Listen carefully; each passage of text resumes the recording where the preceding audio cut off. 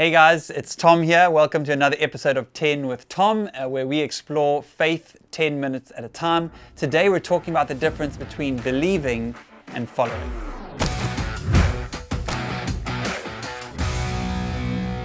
So a while back, I bought my boys uh, superhero outfits. Um, I can't remember what for, dress up or a party or something. And I remember looking on the package of like this Hulk outfit, or I think it was a Superman outfit, and it oh, Superman, and it literally said on the packaging, "This outfit does not enable you to fly." and, and, I thought about the fact that they actually, actually have to write that on the packaging is somewhat worrying, which made me think of a story, and this is a true story. When I was about six years old um, I had a Superman outfit and I did believe I could fly. And I remember, of course I did, yeah. I remember standing on the top of a jungle gym, fully believing that I was going to fly. And I remember my mom running towards me like, no. And I just went, whew. boom, stitches, still got the scar. Uh, four stitches under my chin when I tried to fly off a jungle gym. So that is why they have the notification on the packaging for idiots like me. But, um, but I, I didn't just believe in Superman, I followed his example. How's that for a segue? Okay. Because um, today I want to talk about the difference between believing and following. I wasn't just willing, I didn't just believe, I, I was willing to actually follow his example and try to do what he did. And that uh, was a bad thing in that case. But when it comes to following Jesus, I think there is a difference between believing and following. Jesus said this uh, to the people. He says, he said, it says, Jesus said to the people who believed in him, they already believed in him, but he says, You are truly my disciples if you remain faithful to my teachings, if you follow me then I'll know you are truly my disciples. And a disciple is literally someone who follows someone else. Um, don't just believe. He says, don't just believe in me. It says even the demons say, even the demons believe in God. But it's about following Jesus. I want you to pick up your cross, says Jesus, and follow me. Um, I spoke about this a little bit on Sunday if you got, got the message, but I think one of the problems with modern day Christianity is that we have reduced Jesus from Lord and Savior to sort of friend and forgiver. And He is friend and forgiver, make no mistake about it, but He is also Messiah and Lord. And the, the Messiah, the word Messiah literally means king. And if Jesus is king, if He's Lord, that means that He is on the throne of our lives. And uh, and that obviously is a challenge. and this is where it gets tough because, uh, like I said on Sunday, the thing about thrones is they don't stay empty for long. And if Jesus is not on the throne of your life or my life, if He's not our Lord, the Messiah, then the reality is someone else is on the throne. It may even be you or something else is on the throne. That can be money, status, power, whatever that is.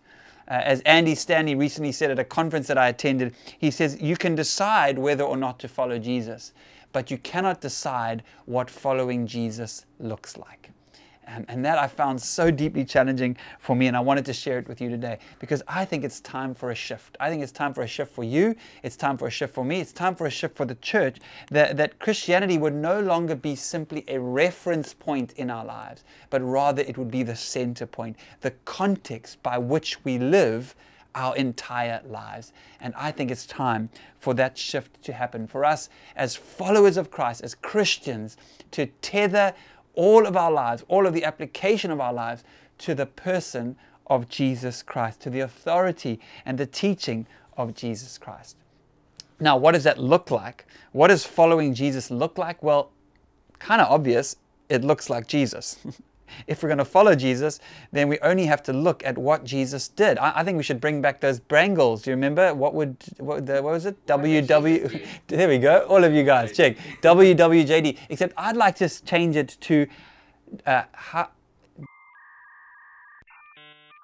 HWJR. How would Jesus respond? Haha, because I think our responses, our reactions are often a better indication of, of whether we're following Jesus or whether we simply just believe in Jesus. You see, actions speak louder than words, but reactions speak even louder.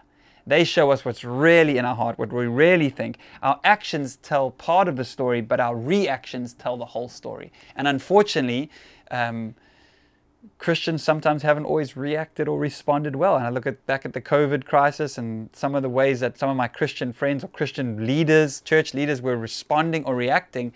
It was kind of embarrassing. And the watching world is watching and they're expecting us to look like and act like Jesus. And that's totally fair for them to think that because we call ourselves Christians, followers of Jesus. And our culture, surprisingly, the secular culture, is actually okay with Jesus. They like Jesus. They are just not that fond of Christians. And I get it because so often they, I think, have a hard time believing that we believe what we say we believe. Because, let's be honest, we don't always act like we believe what we say we believe. Um, and so I think, again, I think it's time for us to reclaim this idea that we are, in fact, not just Jesus believers, we are Jesus followers. And uh, I think when we do that, the watching world will see. And I think people would, uh, would be far more open to receiving Christ, to following Christ when they see that. Um, so I get that's a high challenge message today. Um, I hope it's challenging for you. It's deeply challenging for me. Um, and so maybe the questions I want to leave you with today is when others look at your life, would they say that you're a Jesus believer or would they say that you're a Jesus follower? I mean, that's an interesting question to consider. Do you just believe or do you actually live out your life in a way that is evident to the people around you, uh, non Christian, Christian, work colleagues, family, friends, that you are indeed seeking to follow the ways and the manner of Jesus? And then the second question is what changes do you need to make, do I need to make in your journey of following Jesus? And maybe there's just one thing that God is kind of pointing out to you. You know, hey, that doesn't align with what you say you believe and what, the, what, what needs to happen. Um, and again, I just want to end with this. This is not a try harder message. This is not a be better message. That's not how we follow Jesus by trying harder or using willpower. We follow Jesus by simply acknowledging that He is in fact Lord, that He is in fact on the throne. Not I, He is on the throne.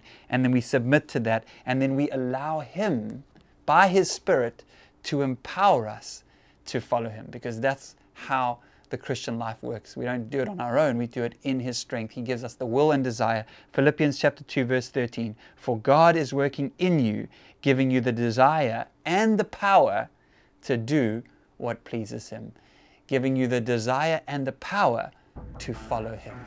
So let's be Jesus followers.